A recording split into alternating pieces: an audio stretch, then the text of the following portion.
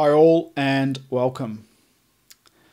In mid 2012, about four months ago now, um, over a period of a few days in particular, realizations just seemed to come to me out of the blue. At the time, I was pumping my fists in the air and going, yes, and kind of running around like a bit of a lunatic, and it was quite exciting. And uh, these realizations pertain to the occult symbology and occult things that I've been looking at for quite a number of years, but mainly since about August of 2010 when I uh, applied myself and started producing videos and contributing to the work that other people are putting up on the net regarding the occult. Let's just do a little bit of background before we get into the actual film. And by the way, this film is going to be along the lines of magic, uh, real magic, uh, the spirit world, and symbolism. Now, um, if you if you think that magic, for example, just revolves around the notion of illusionists, uh, I would suggest that this film is perhaps not for you. And uh, the spirit world, the vast spirit world, I would suggest if you if you don't believe in such, turn the video off now and um, you're in the wrong place. Uh, and also for people who are into the mainstream religions, um, I would suggest also that this is perhaps not the film for you. Just going back, let's just do a little bit of background. I, so I've been producing videos since about August of 2010. Uh, I had a full time job and I ceased that full time job uh, this is not a research job, but uh, a job. I ceased that job in uh, early 2012 and took a whole lot of holidays. During that time, I started a film titled All Roads Lead to Canberra, and I had edited out about four hours of that film, quite a big job, and uh, that and that led up to the time when I came uh, to these realizations. So I actually stopped editing that film, and I've sort of been contemplating this new sort of material, and um, so I'm going to present that to you today. But I would suggest that people watch All Roads Lead to Canberra as well. I think it's uh, worthwhile watching. As usual, I would say that. Um, I'm not telling you that this or that is a fact. Uh, that is always up to you to decide. Keep an open mind. Enjoy the film. There's going to be a large contribution in this film from someone who, who I've met very recently, and this person has really assisted me with more understanding of uh, what is going on. But I'm not saying that everything that this person says is uh, true or false, also, of course. So uh, let's let's get into it.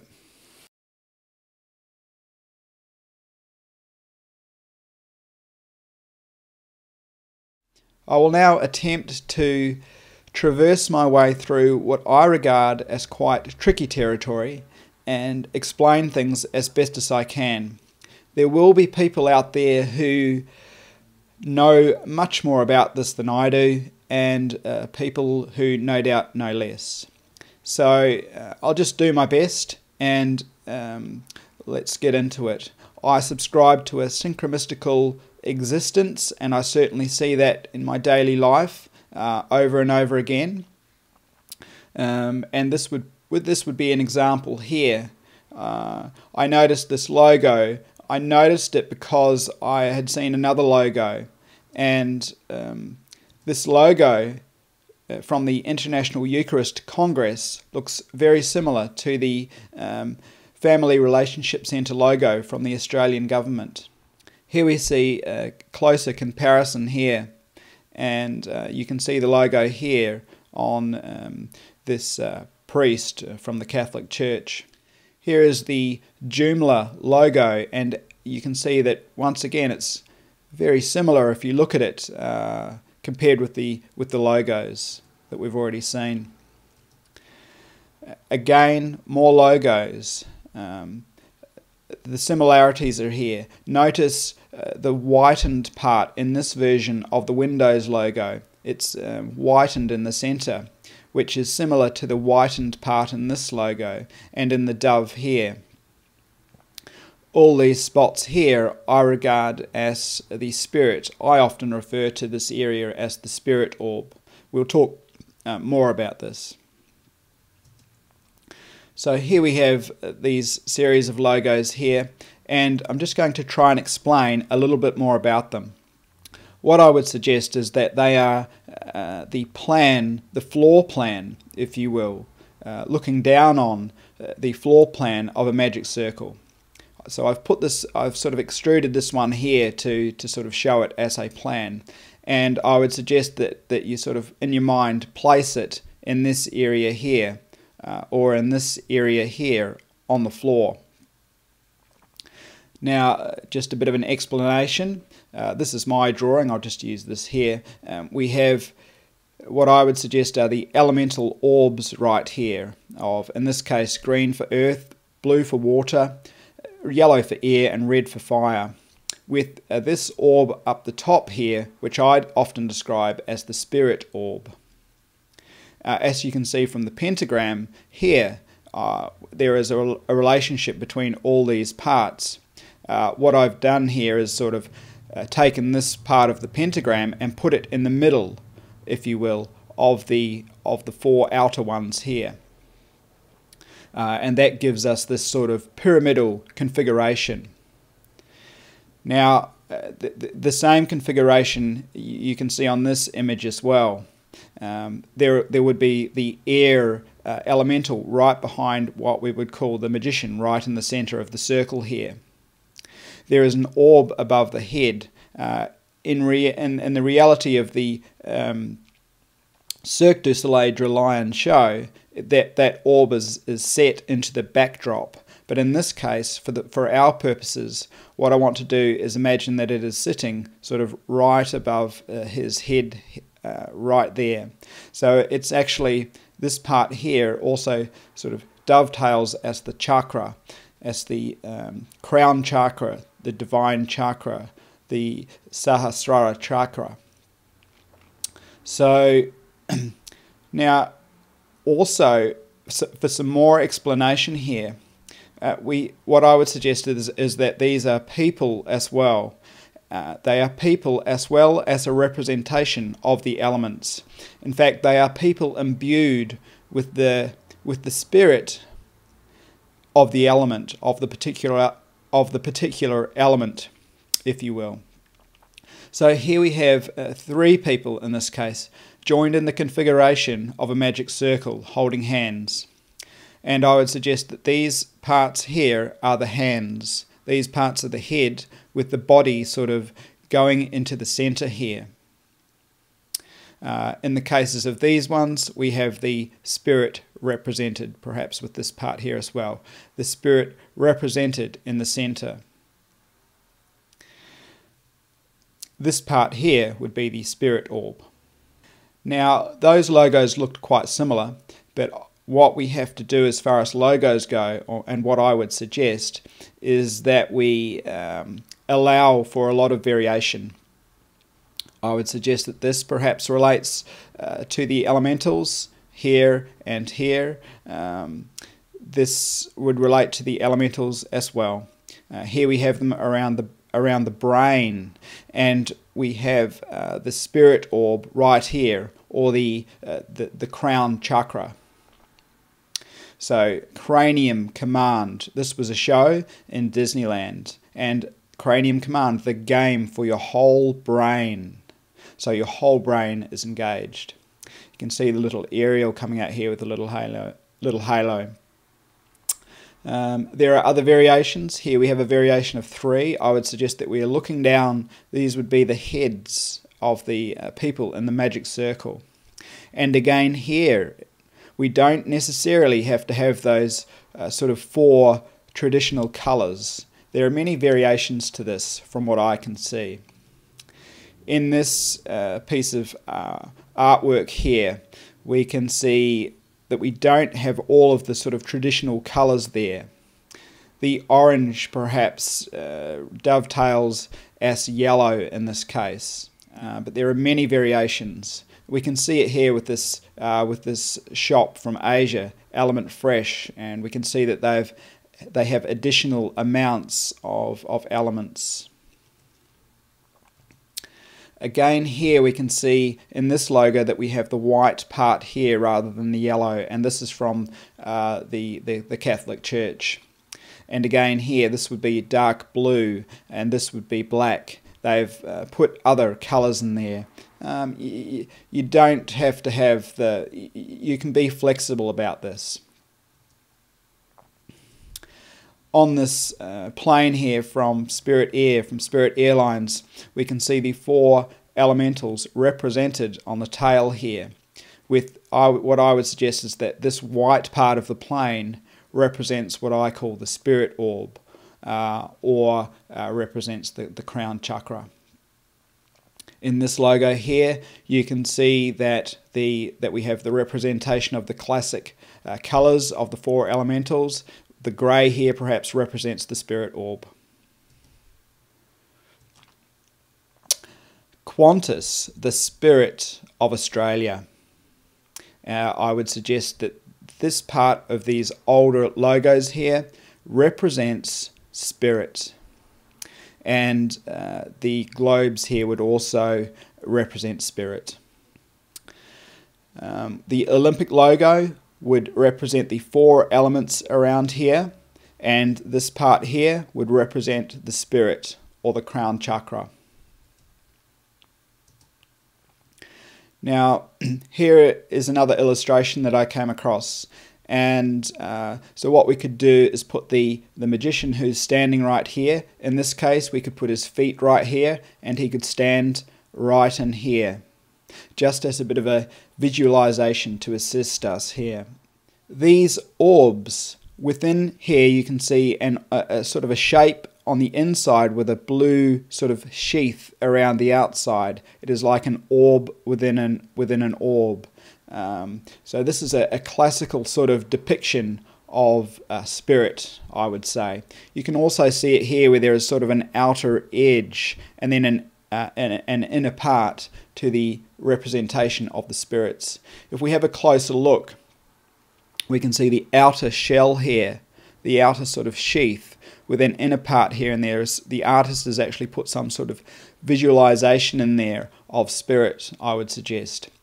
This is very interesting. This is a bit of a blow up. Uh, on the show, you can sort of find pictures where this is much more um, uh, easy to see. But, but uh, anyway, for our purposes right here, um, we can see that some detail in there that is perhaps similar to the detail we see within the spirit orb right here. On this book, we can see a pyramid here, this book on Enochian uh, physics, uh, the structure of the magical universe. And we can see um, the, the elementals represented around the side of the pyramid here. And I would suggest that this top part here uh, sits right on the uh, sort of top of the pyramid. So this would be the spirit orb or the crown chakra. We can see representation here. Notice the little pillars here. Uh, we'll talk about more of these things as we go. In here we have black uh, perhaps instead of green. On this book cover here we can see further representation here. It's interesting that they've mixed the words around a little bit. Uh, uh, where where air should be yellow and earth perhaps green.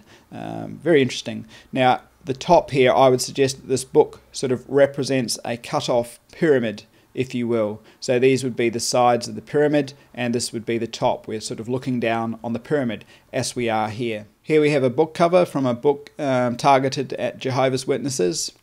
In the center here, we can see what is perhaps the inner part of a of spirit with the outer sort of sheath around here, the lighter part. Uh, it's divided into four sections. This part perhaps represents fire, this part earth, and then air and water perhaps across this way here. Uh, here we can see a bit of a diagram with the Enochian watchtowers and fortress, watchtowers, watchtowers and Jehovah's Witnesses. Hmm, here is a game, and around the sides of the game we can see these little orbs just here, here, and here, the little balls, little spirit orbs. And I would suggest that we could also put a round section here. uh, a round circle representing, as we have here, representing the spirit orb.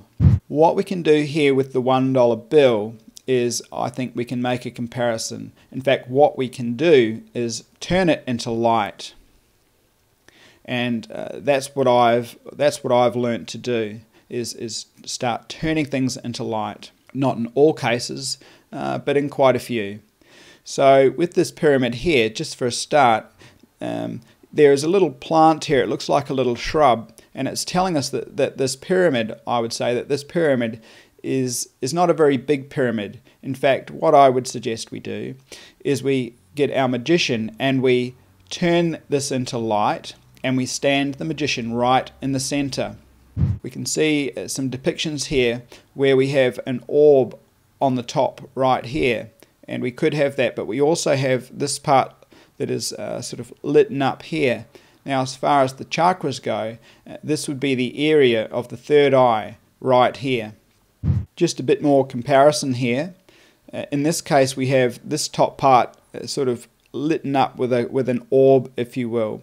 Um, but we have the elementals uh, sort of right throughout the pyramid here, and in this case, we have what I would suggest is a pyramid of light, with the central part through here being the, the part of equilibrium we have the crown chakra on the top, or the spirit orb on the top, with a little uh, another little spirit here uh, traversing up and down, perhaps. These parts here probably look familiar by now. Uh, these would be groupings and um, representation of the elemental spirits uh, and humans, by the way. So, uh, uh, human circles, humans imbued with the elemental spirits. Here we have a further depiction of a pyramid of light, and here again a pyramid of light. At the Olympic Games um, closing ceremony, they built a pyramid, a white pyramid, and I would suggest that this is a representation of a pyramid of light.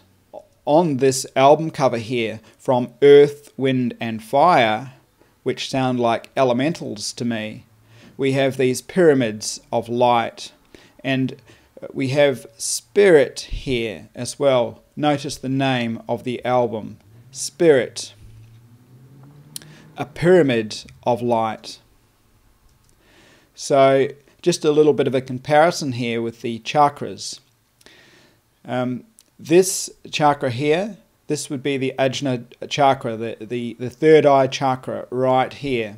And uh, the uh, Sahasrara chakra would be right uh, up the, up the top here. Um, uh, the crown chakra would actually be further up here, but in this case we have the third eye chakra lit up. Now the pyramid can have uh, three sides, more of a tetrahedral shape, uh, as we have in this case from the Apex Club in Australia, and this is down in a park in Geelong. And in the centre here we have this altar type stone here, or ashlar type stone in the centre. Interestingly, here on their uh, logo, they have the lions, or on this badge rather, they have the lions represented here on the top, on the very pinnacle of the pyramid, of the triangle or the pyramid. Now, from this video game, we have this interesting drawing, and this was one of the first ones that I found uh, that related to this.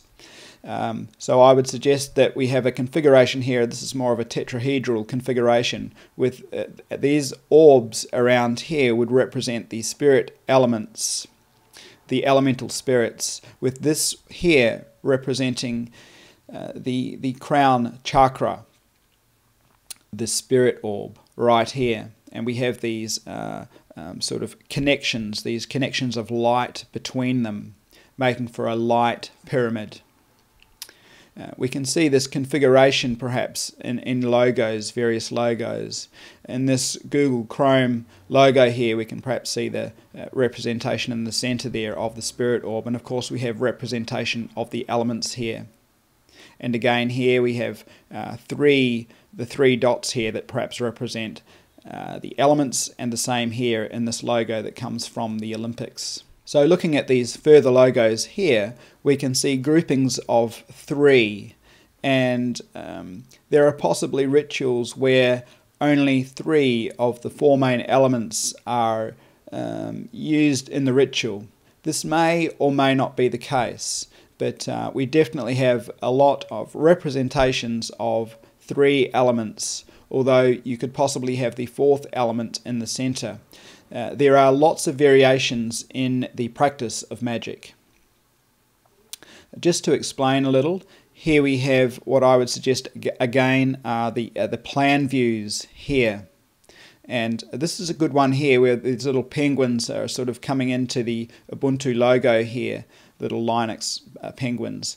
And um, so the characters around here, or these three characters, which, which would be here in this logo, they are imbued, each one would be imbued with uh, uh, particularly uh, one elemental. So here we have another logo here from Ontario with these sort of three people, this sort of magic circle configuration, and we see it in uh, in these in this in the inside of this church logo here in particular. And here we would have a representation of the elemental colours. Uh, just some further logos. This one is from the Church of England, and we have this again. We have the configuration of three people here in a magic circle, and again here the same thing. In this case, we would have the four people in the configuration of the elemental, uh, the magic circle. Uh, the Olympics, uh, once again, we looked at the Olympic rings. Um, in this case, we, we have a configuration of three people in a magic circle, I would suggest, within this logo. And they, interestingly, we have this sort of beam going up through this way. Uh, I would suggest that uh, occultly, uh, perhaps all of the Olympic mascots, I haven't gone through and looked at them all, but perhaps all of the uh, Olympic mascots represent the elemental spirits. In this case here, it's sort of obviously the hare here would represent water, whilst whilst this one represents fire. Um, in the case of the uh, London uh, 2012 Olympics, we would have the representation here of the fire element, I would say, with water here. So the water would be a female element, and here you can see the vesica piscis in the crotch area, uh, similar to the vagina. Uh, whilst here you can see the uh, uh sort of um, fire in the center here, if you will, with the flames coming out, uh, perhaps even fire in the in the heart area. And we can see this interesting rainbow in the back here. Uh, with the with the 2012 logo, by the way, and uh, with logos and bits and pieces, I don't have time to go into all of the different aspects of logos. So I'll just pick out bits and pieces of, of symbology and talk about them on the way, knowing that there are other aspects to it. But in this case here, we perhaps have four around the one, which we will see quite a lot. It's a magic circle of um, four, the four elementals around the, the central spirit, the four elemental spirits around the central spirit.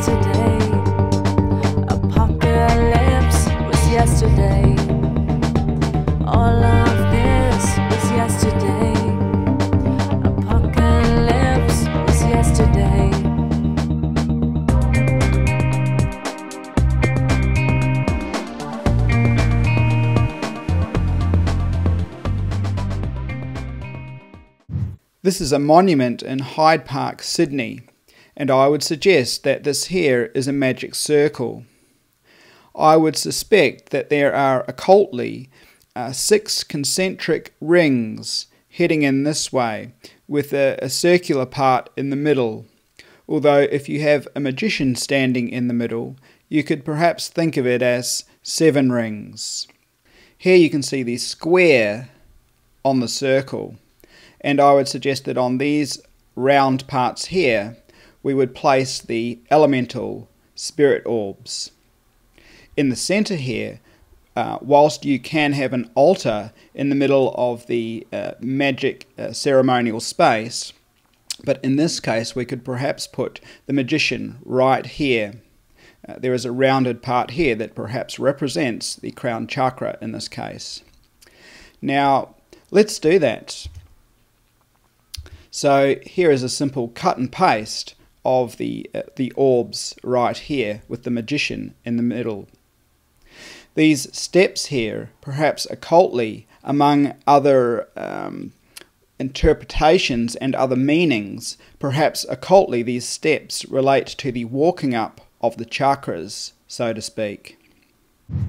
Now, I would just like to change tact for a little and um, just going back. So, in mid 2012, I had these uh, these moments where things just seemed to these realizations, and um, later on, I started talking to people about it. And at one stage, I was talking to some people, and uh, they sort of left and they went uh, to dinner. And then I got a phone call, and they said, "Oh, just come along and have a chat. There's someone who wants to meet you." And so I, I went to the table and um, sort of jumped in on the dinner a bit, actually. But um, it was interesting. And one of the people there, he was a Freemason, and he, he kind of made the, the comment, well, well, everything is magic. And yeah, uh, that's quite an interesting comment to make. Um, and then there were a couple of ladies there, and um, one of the ladies turned to me and she said, Well, have you been in on a ritual? Uh, so this would be a formal ritual. And I said, Well, no. Um, but for me, it was quite striking to have someone sort of sit there and um, uh, sort of say that because I sort of wasn't used to it in a way. But anyway, um, so I thank those people for uh, inviting me uh, to the table and um, being interested in what I had to say. And I was interested to hear what they had to say also. Now, uh, I have a, a I met another person just prior to making this film, and uh, he is going to feature now. And I'm not vouching that everything that this person says is right or wrong. So let's get into it and enjoy. So I'd like to talk about how this ritual pattern that we we've seen expressed through so many different logos and cultural forms. Here we're looking at the Circus Sleal Dralian um, imagery, which really describes it well. And we want to relate the the the stages of this ritual, and this is this particular snapshot is one stage and how it relates to the chakra and system and Kabbalah, and how it relates to the planes of the universe.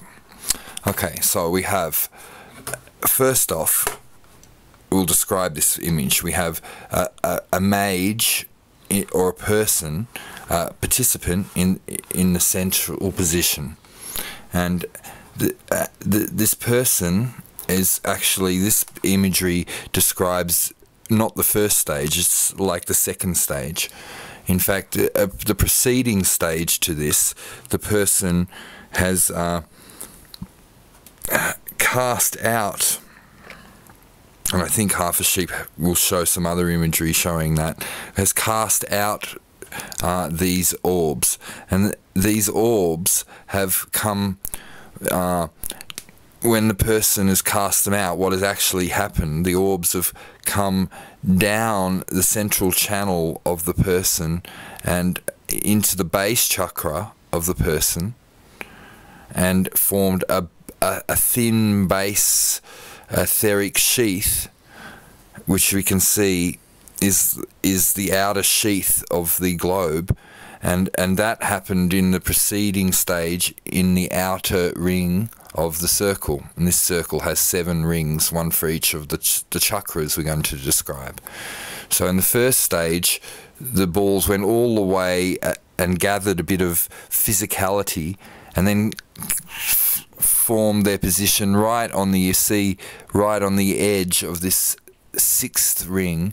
One, two, three, four, five, six, seven and this is the sixth. One, two, three, four, five, six, seven. Counting from the outside, it's the sixth ring or second ring. So it's the second stage of the ritual. Now I'll quickly go to uh, some chakras here. We have. Uh, uh, this is the person looking and the same ritual looking from a different point of view. What has happened in the first stage of the ritual is um, the energy has moved downwards and come out into collected a bit of redness and then sat itself right on this ring here which is the first circular ring here starting here. Uh, and um, and the it the the four energies come down the spine and um, and and form a, a, stationary position and then begin to spin and we have some uh, then they spin in in situ then begin to spin around and around and if we have we've got it we have some imagery of that spinning around. At actually, at the same time, the person is spinning around in the opposite direction. That's uh, forming a a a, a ta- tall spiral anu type uh, um, uh, helix between these orbs and the, the middle person. And we see uh, at the second stage, we see uh, the, uh, the, the what we're calling the spirit orb, uh, above the head of the practitioner. And if we have a look at um, at, at, at chakras, we see at this stage of the ritual, we see uh, an orb here. This is actually the crown chakra, or uh, above the head of the uh, aspirant. Now, now uh, we ha- uh, we see the base chakra has four petals and in fact, uh, that is why at the first stage for a human being to to to uh, to enact this ritual, we we use the four sides because, uh, in fact, our our our our our physicality is in fact four sides, even though our face, if we look at the structure of a face, then our our eyes and nose point forward, and we really have a, a strong face in one direction, but actually we have an equally strong hidden face in our aura in all directions. And uh, uh, so the base chakra has four sides. Uh, when the energy in this ritual moves to the next uh, next stage. Uh, these balls spin around in a circle and then move to the the next plane. And if we will go back to chakras, we have here seven planes. We have the physical plane, which is the the the base chakra, and its its aura is the physical body. We see there. Then we have the next octave of energy up, which is the astral plane, and we see the next aura out is still quite human in shape.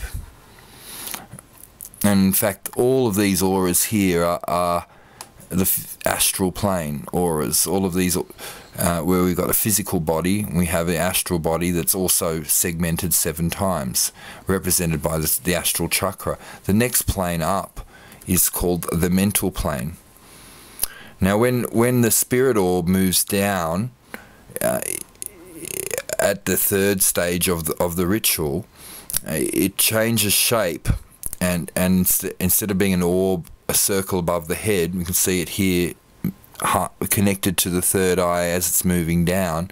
What happens is the it changes shape to an e an egg-like shape, and um, Cirque du Soleil have ovo. Yeah, and ovo is, is a good way of describing it. Um, here we have some egg egg shapes. Now, um, uh,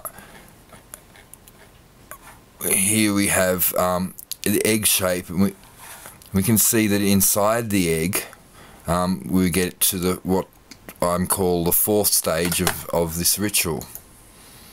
Uh, the third stage at the second stage, we have the globe above the head.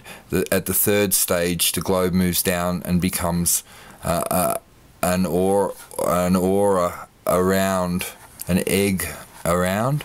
And then in the next stage, we can see the the aura breaks into two bits, and that's we we've we and at that point in the ritual can really feel yourself being split in two and and and and then when you split in two, you become what's called a double. And the that's the awareness of we are all split in two.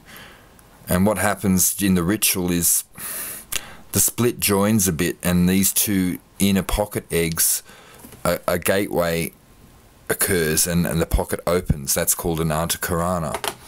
That happens at each chakra level.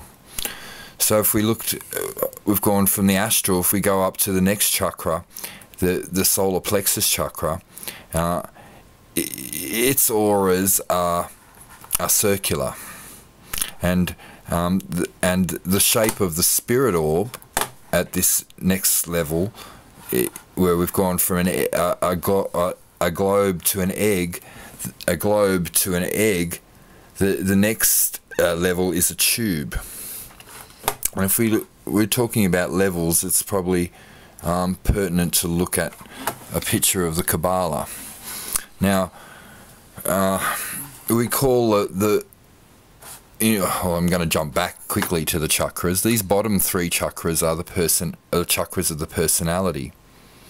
Um, when when a soul incarnates, this we go through this ritual and as the as we condense from the divine and and and come to the planet, we take on a sheath of each of the ethers from each of the planes, and uh, uh, the the these top four chakras are, are like our soul that that go that that that and when we die, these bottom three chakras, the the atoms dissolve as we rot into each plane. But this thing is what is called the reincarnating ego, the top four chakras, and if we go, and they descend lifetime after lifetime into these bottom three.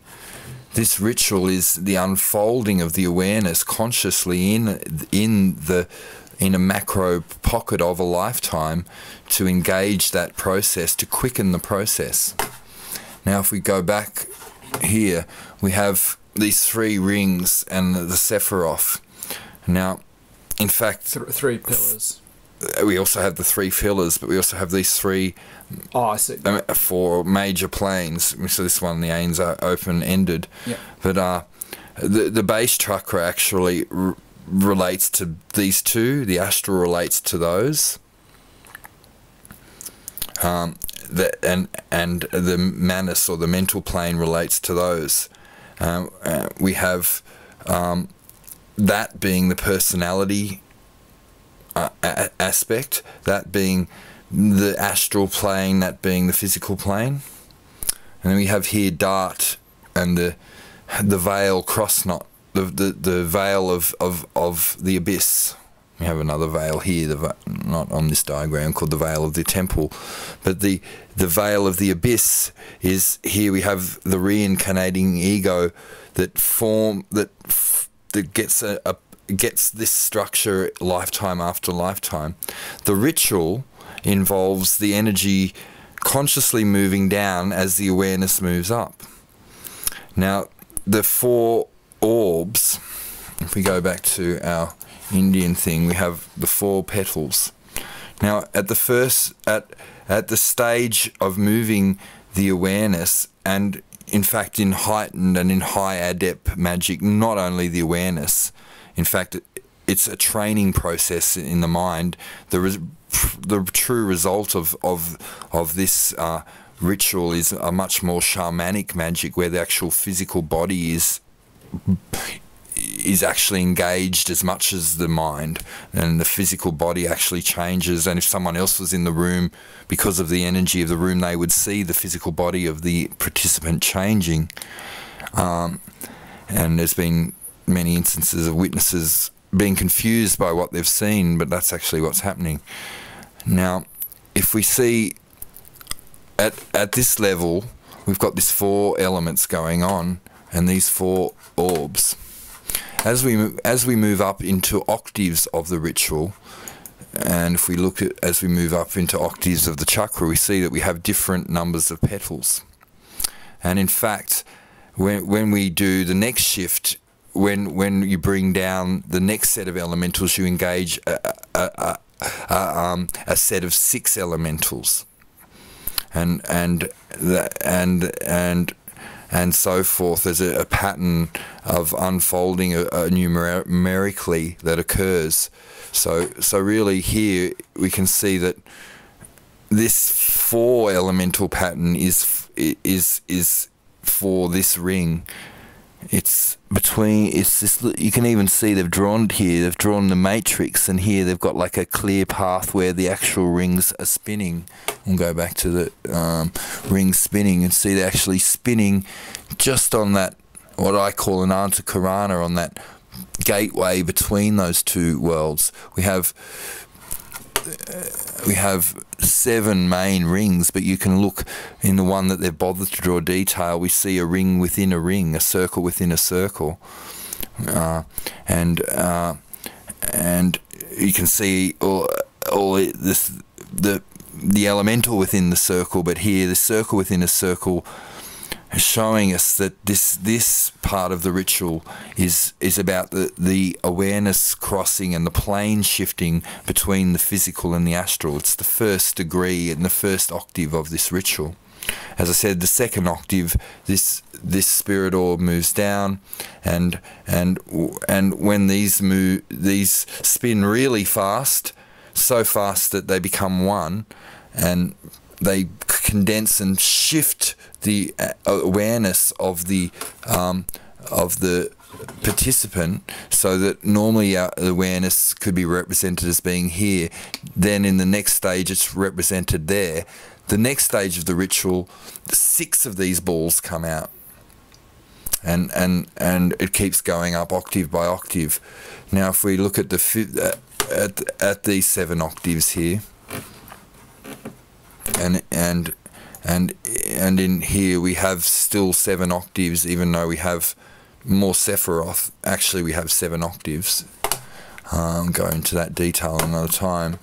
Um, but if we look at the, the base chakra, which is the physical body, the uh, stomach chakra, Swadhisthana, which is the astral body, the uh, um, Manipura, city of jewels, the solar plexus or mind chakra, um, uh, it this being the personality Loki, these bottom three. Then we have the heart chakra. This is the seat of the reincarnating ego, and and um, when when your awareness moves out of the physical and to move out of the physical has to move through these three like subplanes to get to the next main plane, which is this plane. So they're like three subplanes. The astral is actually part of the of the earth. The manas plane is actually the mind plane is actually part of the earth. Here we've truly gone interstellar, and it's a different actual universe we're talking about. And uh, and and uh, uh, we can see the next chakra, Vishuddhi, the throat chakra. We can see anatomically how the the neck is a tube. Here, that spirit globe is becomes a tube, where, where all of these things we talk about balls, spirit balls, and eggs, these sac things containing something and holding something. Now we get a conscious reality. We become a channel, a tube at the th- at the point of awareness of the throat chakra. In fact, the throat chakra home is where all mages sit. That's why they sit in the middle of. They are represent the throat chakra by being a tube, a central pillar. All pillars represent the throat. The throat is anatomically where we can see how the shoulders taper off to form a channel. They show that eggs, stage we have an egg, but then we have a channel. Then we have the whole pattern repeated again in the head. We have the third eye chakra, which is actually three chakras in one. And we have the the divine chakra. Now, when every breath energy of reality starts in the divine, goes through all of these chakras to manifest in a moment. And every moment, every breath, the awareness and the energy goes back up. So we have this constantly flickering in and out manifestation nature, going through all of these patterns in each plane, collecting and condensing all of these energies to create the end of the physical for the human. And because our base chakra is here, it makes us human. If we had our base chakra in the astral, would be a ghost. If we had our base chakra there, would be a higher order ghost on our way out. If we ha- had our base chakra on a, at this level, then we'd be an entity incarnate in the next universe above us in order. We'd be in the Devachanic. And in fact, um, the the the spirits that um, have a permanent base chakra there are the spirits that are uh, uh, uh, uh that uh, uh, that physical people are channeling when they're making all of those these logos and and and these the many artists involved in in work sitting down a round table creating these stories at Cirque du Soleil. They're all actually channeling spirits that have a base chakra on this plane uh, or a base chakra on uh, this plane. And so, in all Kabbalah magic, it's about bringing entities from, that live on this plane through the Daath. Now, dark magicians, because uh, we should have maybe had some other diagrams. Of course, this is a repeating pattern, and there's another whole universe below and darker necromonican type magicians will bring entities up through um, in two ways. They will bring an entity up into these positions, or they will create a situation so that they stand in the they get a, a group of people to stand in these positions and bring the entity up into the center. But uh, really, uh, when we look at diagrams like that, we see the true meaning and and for an individual of this ceremony and ritual. It's for for actively engaging in our multidimensional self and our multi multi-dimensional reality as a being, as a conscious angel on the planet. It's our, you know, we, we, we learn to use our hands and we learn to walk. Well, learning to use this stuff is where we're at as a, as a being evolving on the planet as a whole civilization, and that's why uh, at the moment we see we see the colours here. We see red, orange, yellow, green, blue, um, indigo. Well, we, we all know what indigo is, and then we've got violet or the next magenta it's become, which is the next octave up. Um, but but uh, indigo, which is on the psychic center, the third eye, uh, that you can see here, it's been drawn as sort of a purpley blue. Actually, it's its own color. We haven't quite learned to see it or draw it. We don't have the technology to express it. As we, as we as a planet go through this procedure and move from the physical into the astral planetary speaking, as we are doing as we speak. We're, we're moving our energy up. We're raising, as the Masons say, we're raising up the planet just through all of this workings. And uh, the spirits are, are, guiding us in this process. But uh, as we do that, um, the, our, our awareness, our home will become in the astral rather than the physical. Uh, and this th- indigo color will become more clear and we will be able to say in- indeed that's a separate color instead of being a dark blue or a light purple. And in fact if you go back 2000 years ago people couldn't quite see orange as this as the astral sort of evolved into as uh, uh, sort of evolved and people could not see orange over the last 2,000 years, we've learned to absolutely see that that is a different bandwidth of reality. We can see it as a spectrum speaking. And, and as we evolve, the ability as humans to, to have an astral body, that color has become clear. Uh, right now, we're evolving the ability as a race to have this psychic body. And over the next 10, 20 years, more and more people will be seeing true indigo.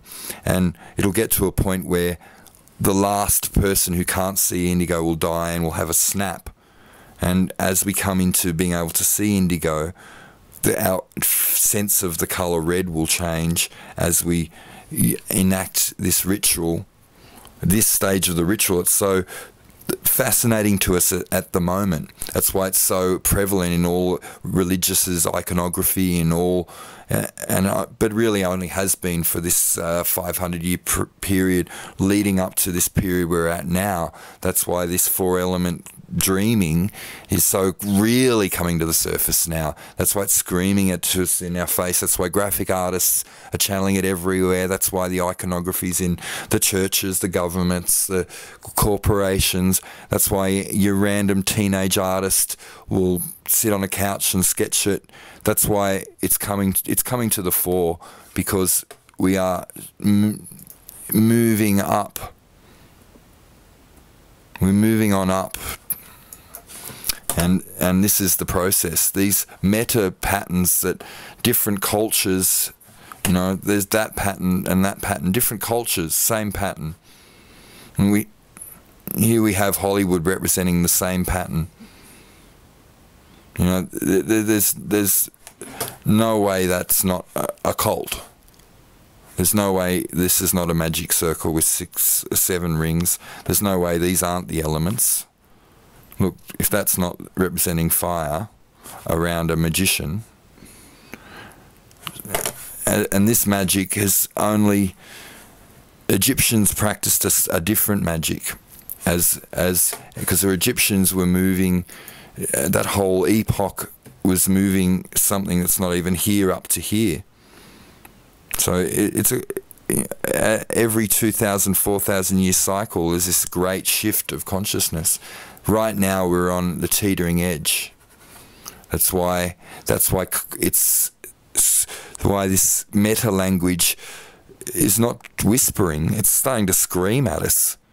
It's screaming at us through architecture. It's screaming at us through through literature and iconography. Um, it's certainly clairvoyance and people who've consciously said they've been in touch with it have been drawing this for quite some time.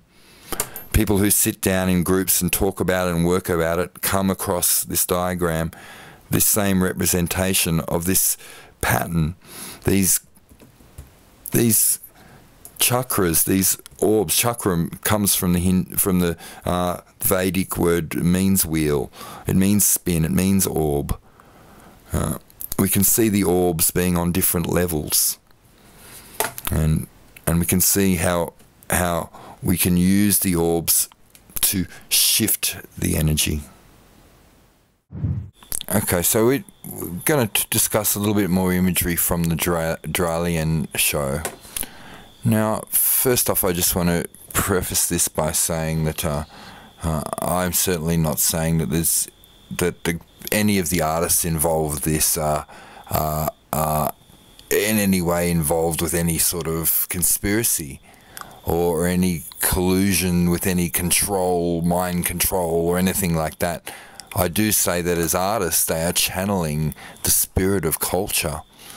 And as conscious artists, they're probably fairly consciously channeling it, but also unconsciously, their motivations are being driven by the spirit of culture. Now, we want to discuss in this show uh, the uh, another image that has been presented here to me uh, of the tree, and uh, I want to discuss the, the Garden of Eden imagery, and want to particularly refer to the four rivers. Now we have in the Bible it talks about, uh, about the first river, the Nara, which is actually splits into four.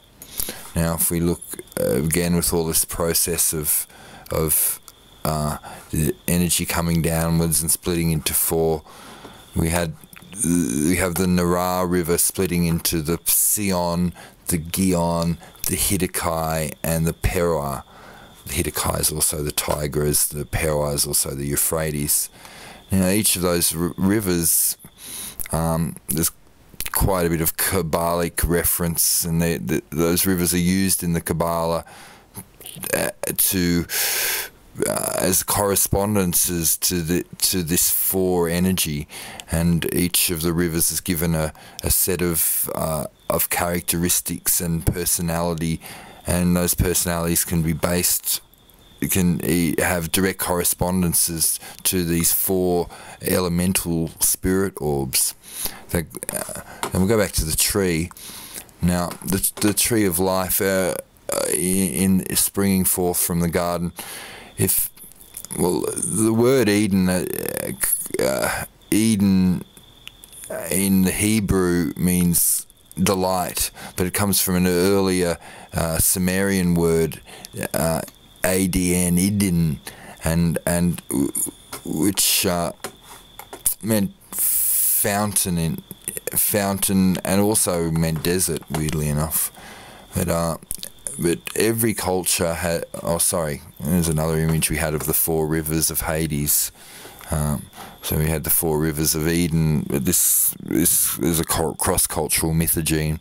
The the spirit of archetype, the uh, has infiltrated has has given these archetypal patterns to the collective unconscious and various seers and adepts throughout cultures and times and epochs have channeled it into their own cultural uh, uh, vocabulary set, but the underlying meme and meta language and se- uh, is is this utterance, this sentence is being uttered everywhere. So here have the four rivers of Hades.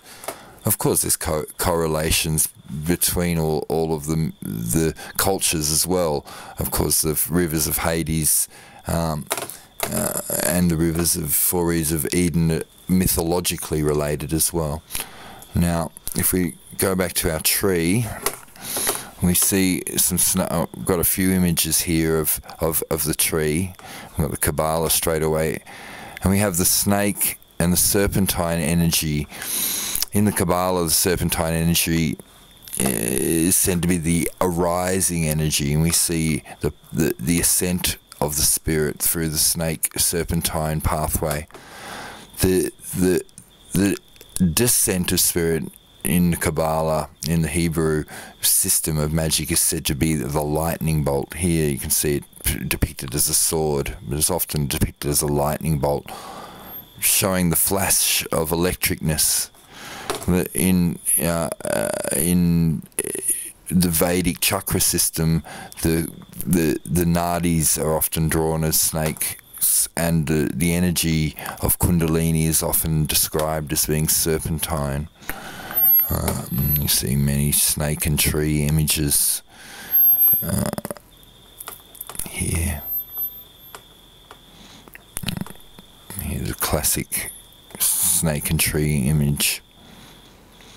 So what we have is the, the, the middle pillar. Now, it's depicted as two because it's quite hard to draw four, but it's really we have four nadi.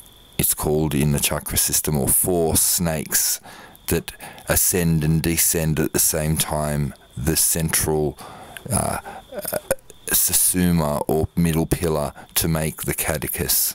The caduceus being that this particular uh, a thing. This is a winged caduceus.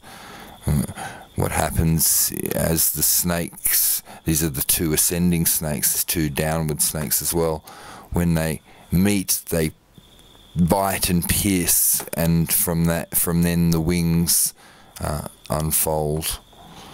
And we see in in so many different cultures we have the, the, the tree of life, uh, this central pillar, this divine natural shape inspiring us, because in fact the whole biological pattern of growth of a tree uses this divine pattern as part of its actual growth mechanisms. It's a fundamental pattern of nature.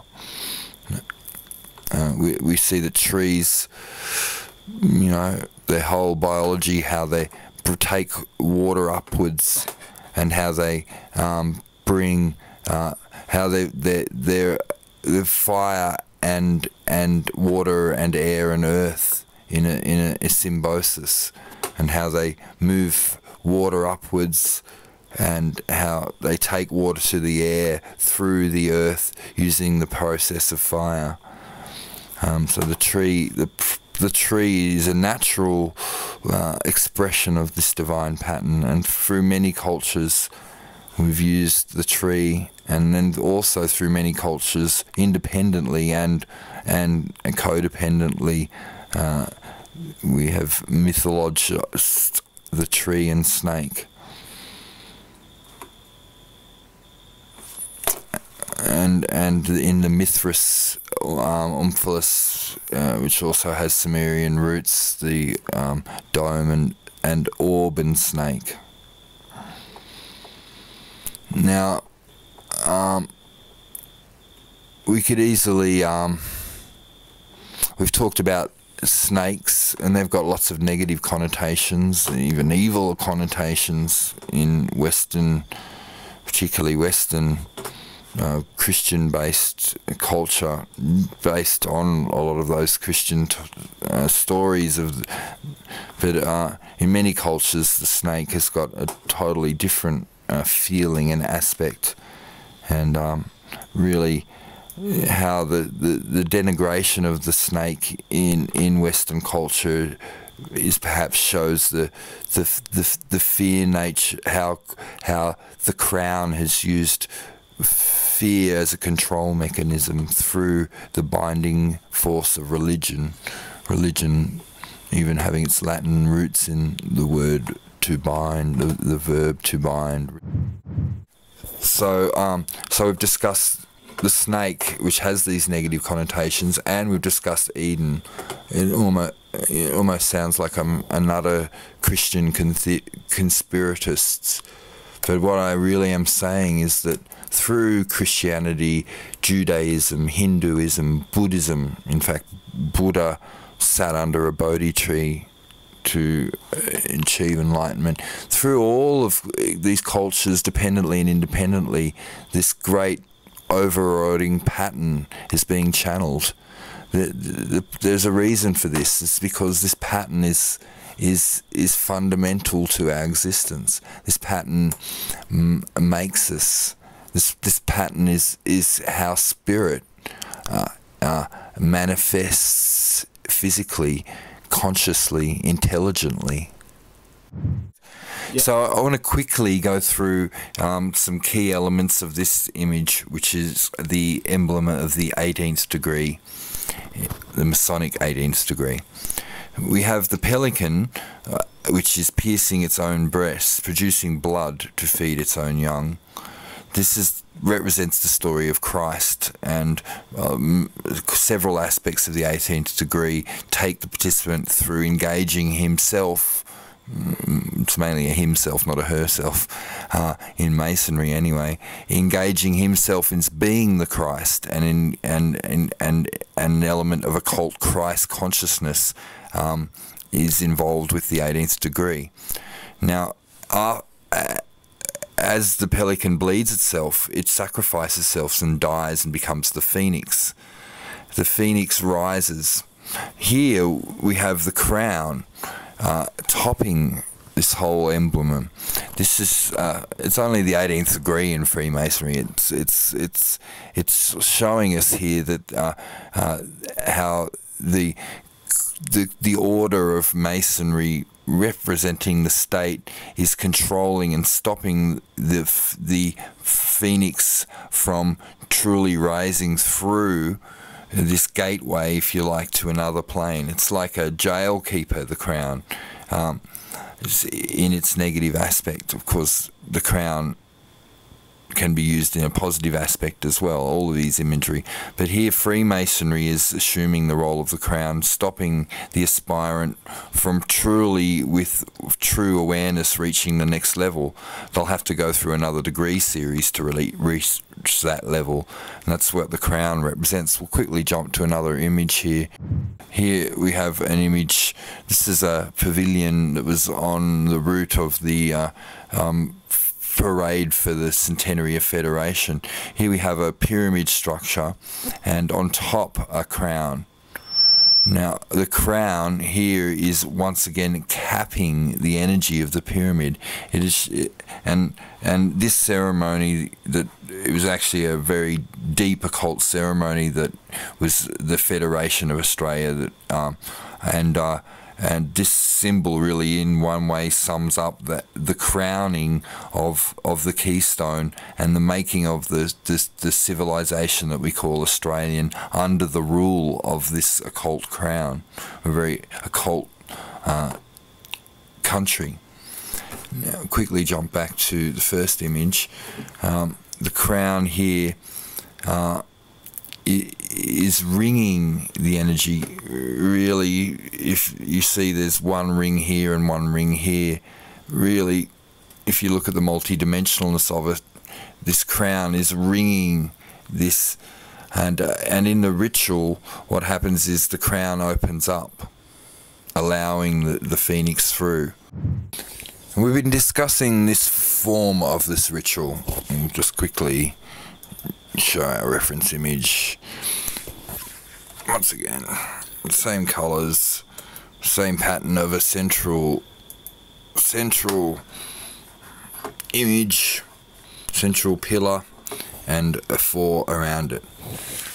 Now this structure can be used in in a variety of ways. We can have a, a single person in the central position and that central person can invoke actual spirit elementals to be in the position of the four at at that at this state of the ritual that we that all of these imagery are prescribing. We can have that that number one uh, person in the middle and elemental spirits in those positions in those positions of the aura because uh, the the actual ceremony has an aura, so the position in the aura. Another possible situation is that we have a, a person, a magician, in the central position, and either a single person or group of pers- people in these positions. A traditional form, an archetype that has been used in many tribal uh, situations and in covens and Wicca covens is having uh, one person a mage and uh, groups of three in each one of these positions. Uh, it's talked a lot about in shamanism, the works of Carlos Castaneda, etc., where where each when we have this uh, a coven or a magic group of thirteen, well, a natural when it when it works the the the the, the, thirteen come together to form a to to form to uh, archetypally enact this pattern, and so the group of thirteen make a second ring uh, with, within the fabric of what of our physical reality.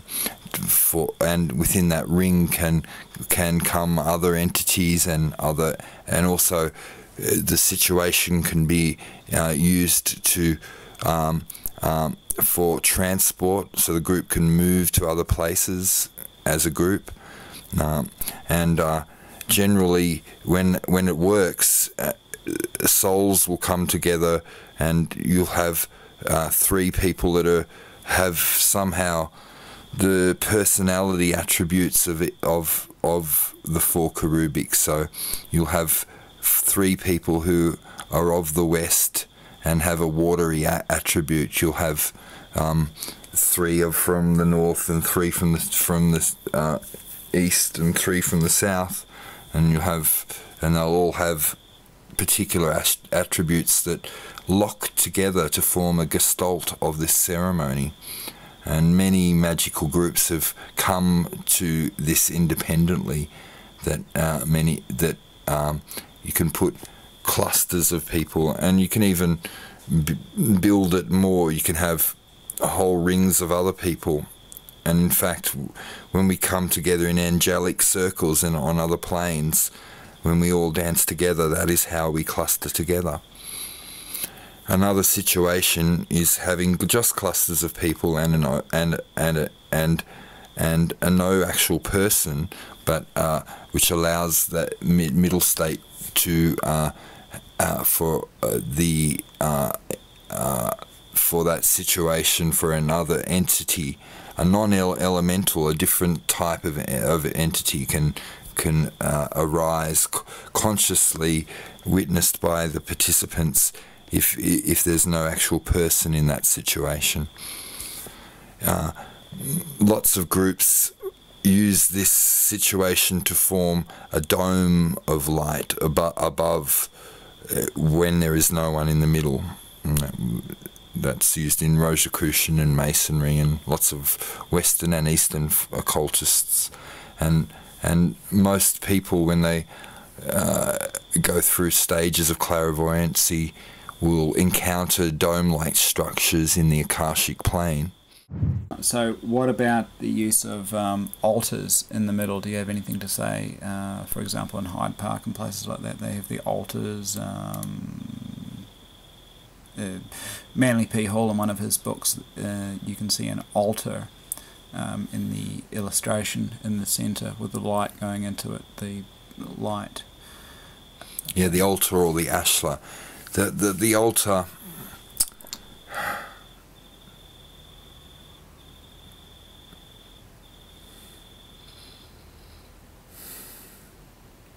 No, I don't can't really. Yep. So we've examined the the the physiology, the anatomy, if you like, of this ritual. Now, how can this ritual be worked? we, we, we can see how how the patterns of of unconscious collusion has formed it to control and manipulate the population uh, and and we can see how edifices have built up in our civilizations financial and governmental and fraternal institutions that have have grown up to maintain and and and and and keep control. These organisations have been aware of this pattern that we were examining, this ritual, this four into one, this this thing, uh, and they've used this to consciously uh, despite the lack of conscious collusion, there's been conscious intention in in the using of this ritual to manipulate the process of of, of each individual human's connection to the astral.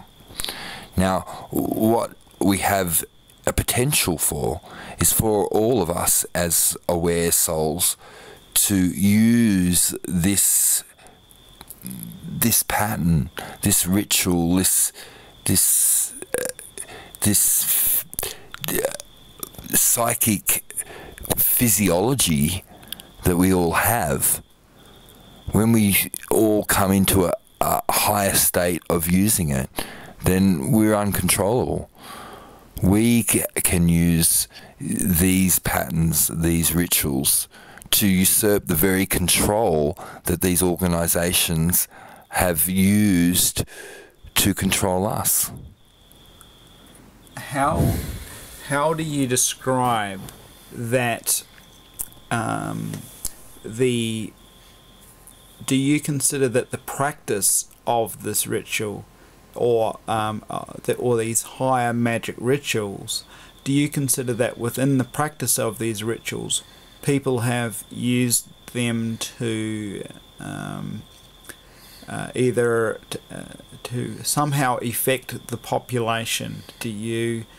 Um, There's been deliberate manipulation of the subtle energies of the astral.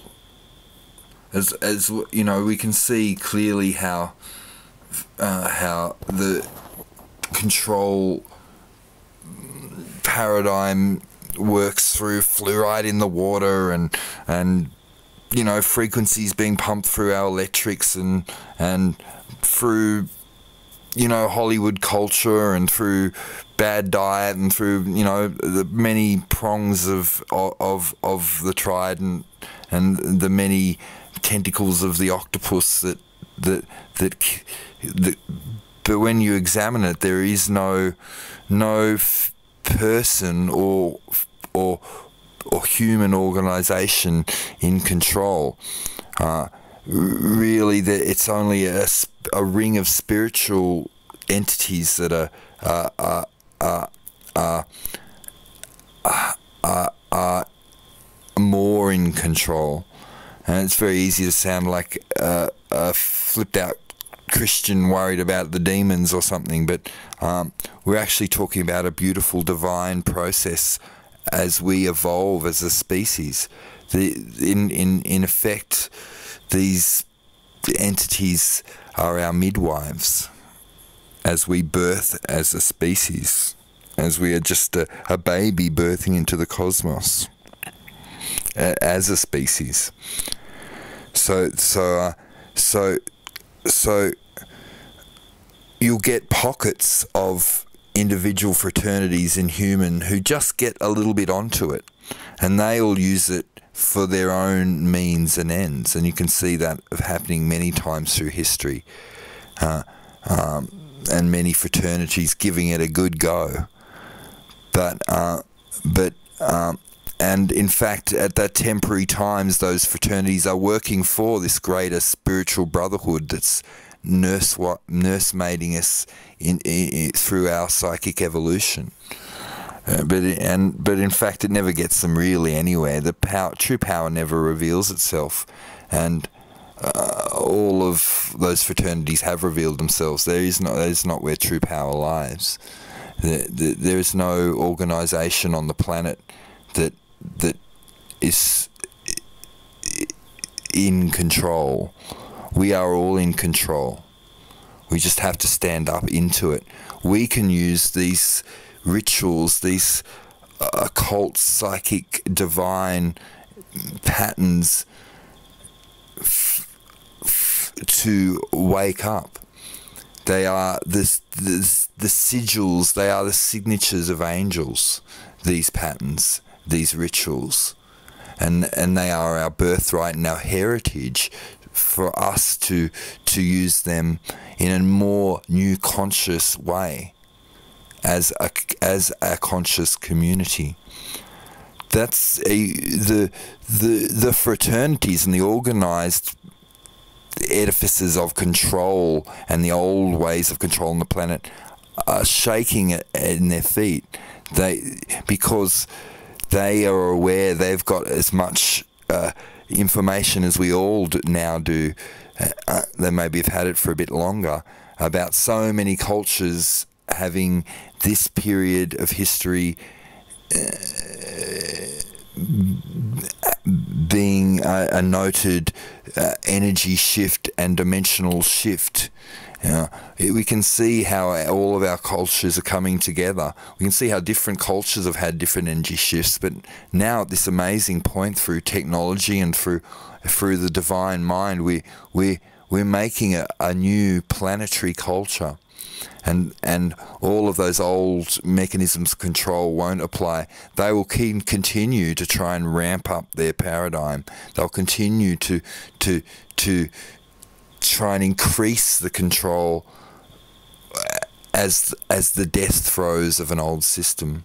When you when you're referring to the old system and they, who are you referring to? Uh, it, I'm speaking metaphorically. The they, the they, uh, who the the, the they. I use the they as. Uh,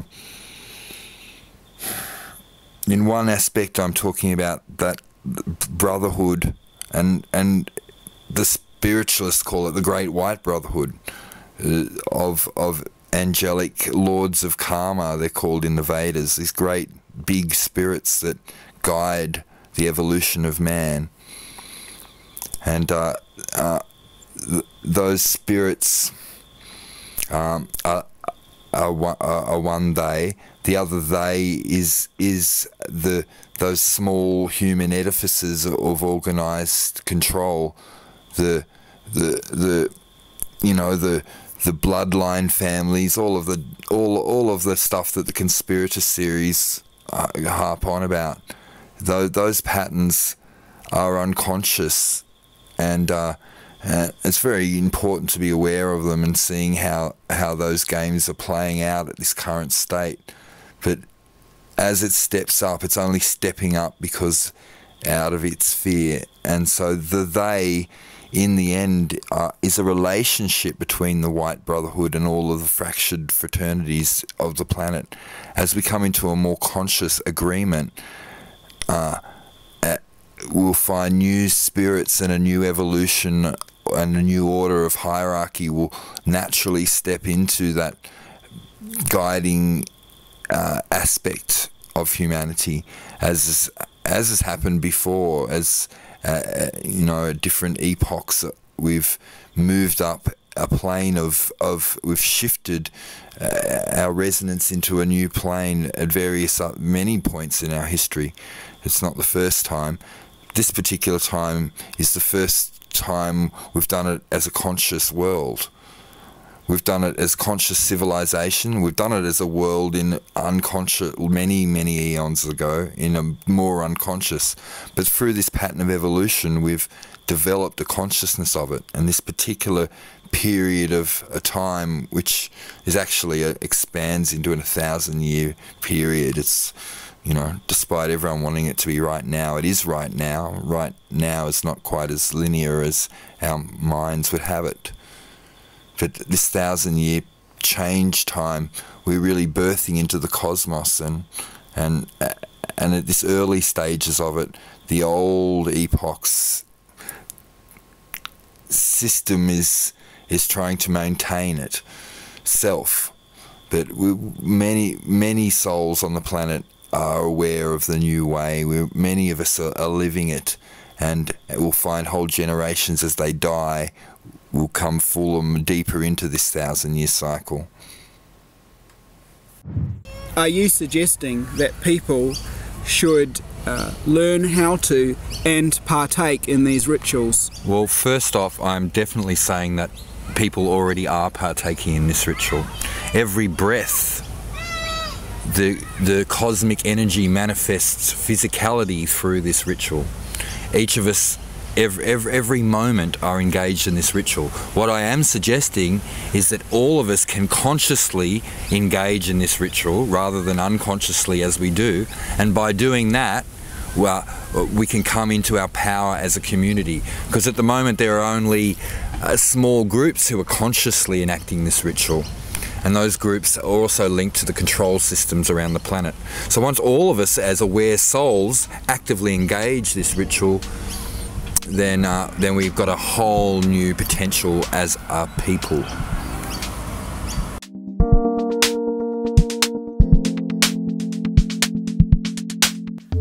I hope you found part one interesting. Please read the information in the description box before asking questions of me. Only courteous and considered commentary will be accepted. Uh, the link for part two can be found in the description box. Bye for now.